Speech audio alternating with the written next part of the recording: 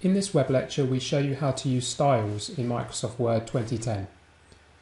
What is a style? A style is a set of formatting characteristics such as font type, font size, font colour, paragraph alignment and spacing, etc. By using styles in Microsoft Word, you can quickly and easily choose these characteristics in a consistent way throughout your document. This can save time and avoids the risk of inconsistency if you format the document directly as you go. Here is my Word document. I've got five pages of unformatted text giving information on the University of Manchester. This text is taken from the University of Manchester's Wikipedia page. Currently, this document looks quite boring. The text is simply the default black Calibri size 11 throughout. By using styles, however, we can format this document consistently and make it look more professional. We can do this using the styles bar, which is located here. And the first thing we need to do is tell Microsoft Word what category each of our text belongs to. So click on the University of Manchester. And if we hover over the different options in the styles bar, Microsoft Word will automatically show us what those options will look like but the University of Manchester is our title, so we will select title for that one. History is a section, so we select heading 1, and Origins is a subsection, so we select heading 2 for that one. Scroll down, this is all normal text, so we don't need to change that. 2004 to present is a subsection as well, so that's heading 2. Campus is a section, so heading 1. Scroll down. Major projects is a subsection, heading 2. The old quadrangle, a subsection. Contact, a subsection. Chancellors, Hotel and Conference Centre, a subsection, so they're all heading 2. Other notable buildings is also a subsection, so that's also heading 2. So we have labelled all the sections and subsections. We can also add a numbered list to the two parts of a campus by simply selecting them and click on numbered list. And the list of major projects I'm going to put into a bulleted list. So I simply select the list and then click on the bulleted list option there. So there we have it. We have now told Microsoft Word what category each of our text belongs to, whether it's a title, section, subsection, or just normal text. The advantage to doing this is that if we do not like the default style, we can easily change the look of a whole document in just a couple of clicks. To do so, click Change Styles and then Style Set.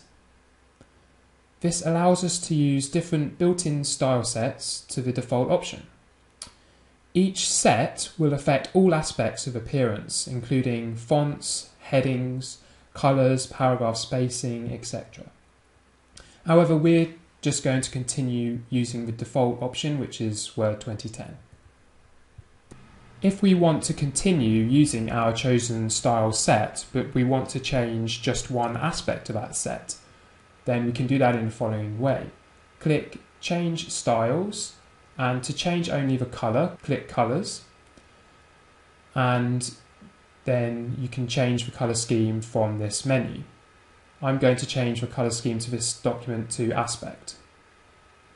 We can also change only the font type in the same way. We click change styles, fonts, and we can change the font type away from Calibri if we want to do that. But I'm going to stick with Calibri for this document. And finally, we can also change the paragraphs and spacing options here I'm going to switch this document to double spacing because that's a frequent requirement for university work. Overall, the document now looks very different and is consistently formatted throughout. We can also modify only, say, heading 2 by selecting heading 2, right clicking on heading 2 and selecting modify. Here we can change all aspects of the appearance of heading 2, the font type, the colour, the size, etc. And those changes will apply to all of the subheadings throughout the entire document. So if I make some changes here, change the colour, make it look a little bit different, you can see that the subheadings have now changed throughout the document.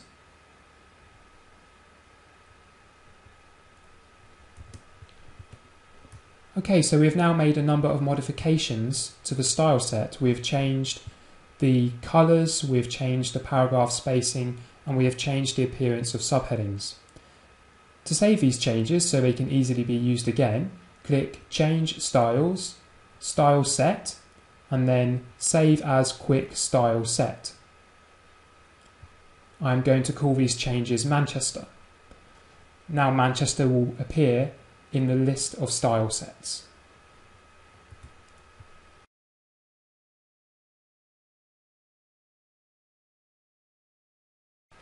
Another advantage to using styles is that it makes generating a contents table very quick and easy. Simply click at the top of a document, insert a page break, like so,